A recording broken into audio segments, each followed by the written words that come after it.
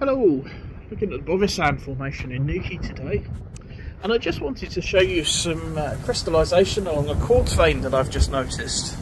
So there we go, look, you can see the quartz vein, the quartz is the white rock and then or the white mineral and then you've just got the, uh, the slight orange staining there um, which is hematite or iron staining uh, where the iron has preferentially travelled along the same fault line as the uh, as the quartz and you can see these these beautiful crystals here. Um, see if I can uh, get some stills for you afterwards.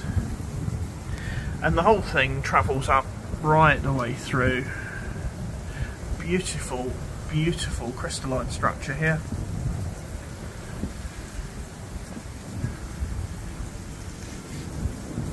there we go I've been the Down to Earth Geologist. Don't forget to like and subscribe for more content like this.